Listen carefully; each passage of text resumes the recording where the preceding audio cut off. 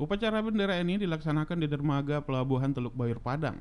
Pelaksanaan upacara dilakukan oleh 9 orang Sri Kandi PT Pelindo II yang seluruhnya beranggotakan wanita yang digelar secara hikmat. Upacara kemerdekaan ini diikuti 300 orang peserta yang diikuti oleh instansi sipil, TNI Polri, Asosiasi Pelabuhan, Pensiunan, dan anak perusahaan, serta mitra dan karyawan PT Pelindo II.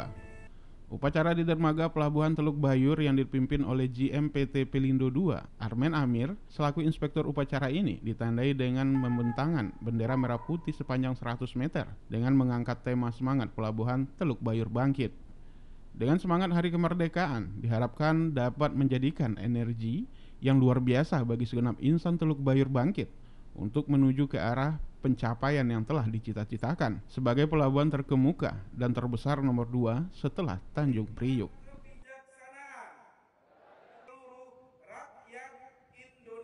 Setiap tanggal 17 Agustus, bangsa Indonesia pasti memiliki makna tersendiri.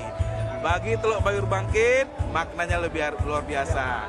Karena kami sudah menggagas Teluk Bayur ini untuk menjadi pelabuhan terkemuka, terbesar, dan modern Indonesia.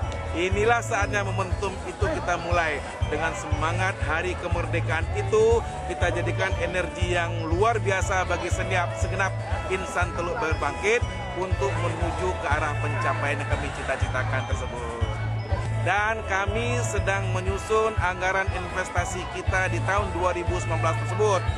Kita insya Allah akan mengintegrasikan enam pelabuhan yang ada di Sumatera Barat ini.